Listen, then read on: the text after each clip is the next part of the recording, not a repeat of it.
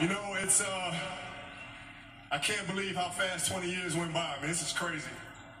This is absolutely crazy. And uh you know, to be standing here at center court with you guys, my teammates behind me, and uh, appreciating all this, you know, the journey that we've been on. You know, we've been through our ups and been through our downs. And uh, I think the most important part is that we all stayed together throughout. You know, I grew up, I grew up a diehard, I mean a diehard Laker fan. Diehard. I mean, I knew knew everything about every player that's ever played here. So to be drafted and then traded to this organization and to spend 20 years here, I mean, you can't you can't write something better than this. And I'm more proud, I'm more proud of the fact that not about the championships, but about the down years. Because we didn't run. We didn't run. We played through all that stuff and we got our championships and we did it the right way. And uh, all I can do here is just thank you guys. Thank you guys for all the years of support. Thank you guys for all the motivation. Thank you for all the inspiration. And, uh, you know, what's funny,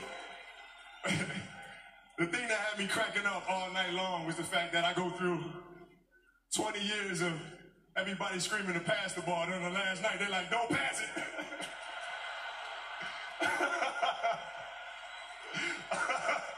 this has been this has been absolutely beautiful, you guys. I can't believe it's come to an end.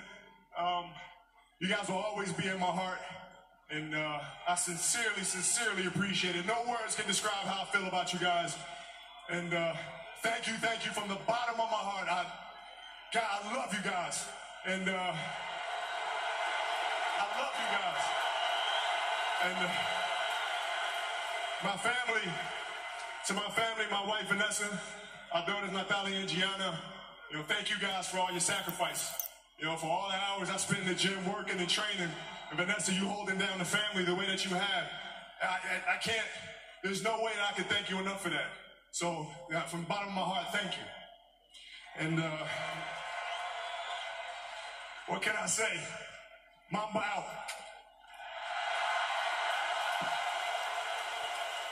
so fitting wow. that Kobe would go out that way right. with his basketball career to